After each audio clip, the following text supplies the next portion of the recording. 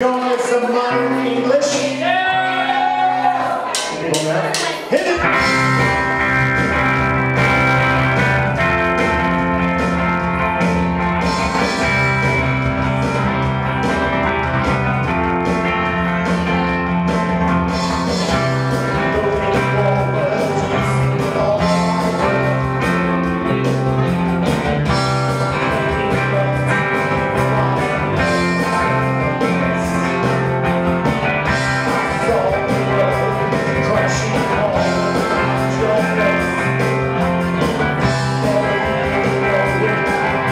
sol